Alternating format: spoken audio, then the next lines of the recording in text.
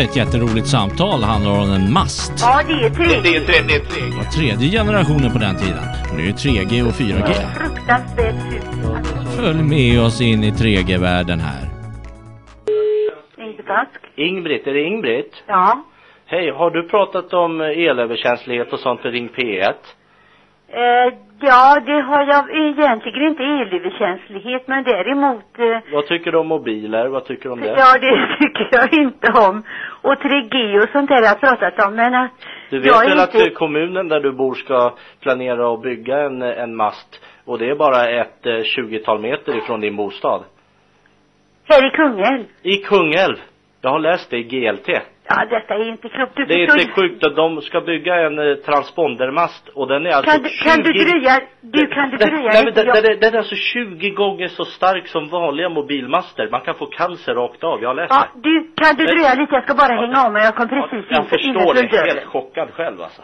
Kan du dröja lite? Ja, ja, ja, det här är helt otroligt alltså. Det här är Du, helt... kan du dröja lite? Ska jag klä Ja, ja, ja, det här är helt sjukt alltså. Är... Ja, ja, det kan jag göra. Ja, det är helt sjukt det här alltså. Ja, ja, ja, det kan jag göra. Ja, ja det kan jag. Helt, helt sjukt. Hallå, ja, nu har jag hängt av Det här mig. är helt sjukt alltså. Var ringer du ifrån? Kungälv kommun har beslutat att det är 20 meter ifrån din bostad. Eh, Men an- var, vem är du och var ringer du Jag ifrån? ringer från Kungälv kommun. Ringer du från kommunen? Förlåt, jag trodde att du skulle berätta för mig att kommunen... Men du, jag är emot dem. Men jag har hört bakom deras ryggar, jag vill vara anonym.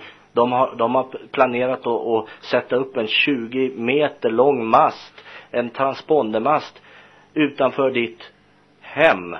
Nu för att jävlas med dig för att de vet att du är emot det här. Menar du det? Ja, det har de gjort. Och de har fått uh, styrelsebeslut Men på det. menar du att de har, gör detta bara för att jag har jobbat med detta? De alltså, skulle ju ha en mast fast lite längre ifrån. Men de visste vem du var. Så de sa, vi tar det lite närmre ändå. Vi tar det den. Detta, detta är ju kriminellt. Och det var precis så jag tyckte också. Så att jag tänkte jag måste ringa upp och varna dig för att det Men vad kan jag livet- göra nu? Vad kan vi göra nu då? För jag får inte ditt namn och jag har Nej, ingen... jag vågar inte ge det. Nej, jag förstår är- dig. Det förstår jag. Ja. Du förstår vad jag har jobbat med. Har du hört talas om mig förut i detta sammanhanget? Vad har jag hört talas om? Har du, har du hört talas om mig i detta sammanhanget med 3G-master? Nej, jag har inte hört talas om dig, men de Nej, hade hört men talas om du dig. förstår att jag har jobbat med kommunen. Det är ju därför de känner till mig. Ja, det är därför, det är därför det. De har satt upp en 3G-mast för tre år sedan. Eh, eh, 280 meter från vår sommarstuga på Norra Aröd. Är det den på 20 watt? Jag vet inte hur. Nej, det, det är det, för jag trodde det var den på 20 watt som de sände 3G-strålning med. Ja, det är 3G. Det, det, är, tre- det är 3G. Ja, Ja, för att det är den värsta typen av, har det är väl den värsta typen av strålningen också. Det är den farligaste strålningen. Ja, jo, jag vet det. Det här och är det helt har, sjukt. där, därför har jag fått information genom de elöverkänsliga. Men jag är inte elöverkänslig jag- själv och de tog bara kontakt med mig genom att jag skrev i tidningen om det här. Varför känner du du så starkt för det här? Varför känner du så starkt för det här med el? Vad sa du? Varför känner du så starkt för det här med elöverkänslighet och det? Nej, det gör, för det är klart ja. jag tycker ju synd om dem som har detta, men jag har det inte själv. Har och jag har inte jobbat för dem. Jag har inte jobbat för elöverkänslighet. Jag har jobbat mot 3G-mast. Ja, Det är det jag har gjort. Ja, kul. Det är det enda jag har gjort. Med 3G-mast. Så att jag har varit på kommunen och de vet vem jag är och de sa vid tillfälle de känner igen mig. Ska jag berätta komma en sak? jag. I mötet där sa de så här, vi ska sätta dit den där äckliga kärringjäveln, sa de. Och jag, säger- jag citerar alltså. Detta är inte klokt. Det är inte jävla Alltså klokt. detta är ju kriminellt. De sa så. Du, jag har varit, jag har lämnat in, vi, jag, jag gick med en, en, och gjorde, fick en enkät ute på Norra Aröd. Så det var 44 stycken som hade skrivit under och lämnade till kommunen och ville att de skulle eh, att de skulle lämna eh, uppgifter om den här masten va. Att de skulle eh, testa, nu kommer jag inte ihåg exakt vad vi krävde för nu är det tre år sedan. Du, när vi när vi lämnade in detta då så kom vi tillbaks igen utan att de brydde sig om att meddela oss för vi ville ha reda på hur mycket den strålar och sådär. Och lämnade utan att de gjorde någonting åt det. Och sedan förstår du så fick jag hjälp utav de elöverkänsliga. Det är därför jag har Mm, kunnat gjort mm. detta. Och gått till Länsstyrelsen. Och i, till Mm, Länsstyrelsen mm, skickade vi eh, skickade Ja. jag denna då i april. Så jag har just i dagarna tänkt att jag måste ringa till Länsstyrelsen och fråga hur länge de ska ligga på detta. Ja. Så att de har hjälpt mig att skriva för det är ju jättemycket skriverier. Jag är snart 80 år vet du, men jag är, jag är så förbannad till det här och rädd för mobiltelefoner och allting. Och du förstår Ja. att våran telefon slutade fungera i Sparöd när denna masten kom upp. Och jag ringde till Televerket och klagade på telefonen och då sa de att, ja men det är den masten, du får köpa en ny telefon. Ja. Så jag jobbar med, med Televerket i Telia, eller vad det nu heter för någonting, där i, i ett halvår. Och sa jag ska inte köpa en ny telefon, jag har inte bett att få den. Jag har själv ingen, bil, ingen mobiltelefon eller någonting. Ni ska betala en ny telefon till mig. Mm. Och till slut fick jag pengar. Jag fick 375 kronor av Ja. Televerket. Ja, ja du får ursäkta men jag har varit uppe hela natten. Jag har, jag har tänkt på det här, jag måste ringa ner och så, så att jag var Ja, lite, jag, lite trött det värsta är att jag kan ju inte göra Ja. någonting, alltså Nej. så fruktansvärt fult. Ja, det så är sig helt fult och de sa det. Hon, kärring på 80 hon var den värsta sladdetackan när hon eh, var på kommunen sa de att du bara babblar på och du bara Ja, hade mun, och de kallade det så. för mundiaré-kärring. Vad Det kallar sa de? mundiaré-kärring. Och de som kallade det för eh, tokiga lopploella, de kallade det för idioten, de kallade det för eh, mastkärringen. Det här är alltså, jag har, jag har skrivit upp varenda sak de sa på mötet och så sa de 20 meter från hennes hus, där ska vi slänga upp den här. Och hon ska få, hon ska få betala för det hon har gjort. Men är Det är helt sinnes.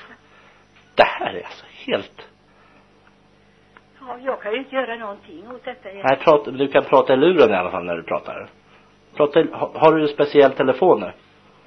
Eh, ja, jag har eh, min vanliga telefon. Ja, funkade Jag trodde telefonen slutade fungera när de satte upp. Nej, det var på, nu är jag hemma i Kungälv vet du. Jaså, det var i sommarstugan de satte upp. Men vi Ja. fick köpa en ny telefon till stugan för att den skulle fungera. Inte När jag ringde då så kunde det gå in, om jag hade pratat en kvart med någon så kom det plötsligt in en, eh, från, Mm. ja, eh, sån här eh, Och prata en kvart, det är inte ovanligt för dig, det hör jag. det förstår du. Nej. Ja. Ja. Nej, men jag menar jag kunde ha suttit och pratat med någon i en kvart och då kom Telia in och avbröt och sa det att det numret jag har slagit, det, det kan inte gå fram, det, det klaffar inte, jag får slå nytt igen. Men nu vet jag i alla fall vad kommunen har planerat och eh, jag har informerat om det men jag vill inte berätta vem jag är för att det är skottpengar på sådana som mig vet du. De är, de alltså, de dödar. De dödar mig direkt om de får reda på det. För de har hela mobilindustrin i ryggen. Ja, det vet jag ju också. Jag För att de har haft till och med haft, du, jag vet de har till och med i ryggen, de har haft till och med haft sex med en av dem mobil, i, en i Ericsson. En i Eriksson hade sex med en i, eh, i, eh, i eh, kommundelsnämnden. I Kungälv. men vad är detta för folk som styr vår kommun som kan göra något sånt här? Ja, jag fattar inte. Men det är deras Men jag kan ju inte, jag kan ju inte göra någonting. Jag kan ju inte gå Nej. till dem och säga till dem eller någonting. Jag, jag, att du vågar ringa mig. För Jag kan- försökte bara informera dig så att du är beredd på det i alla fall så att du inte blir ledsen när det kommer upp en sån. Men om jag nu går till kommunen och säger att jag har fått reda på Snälla detta.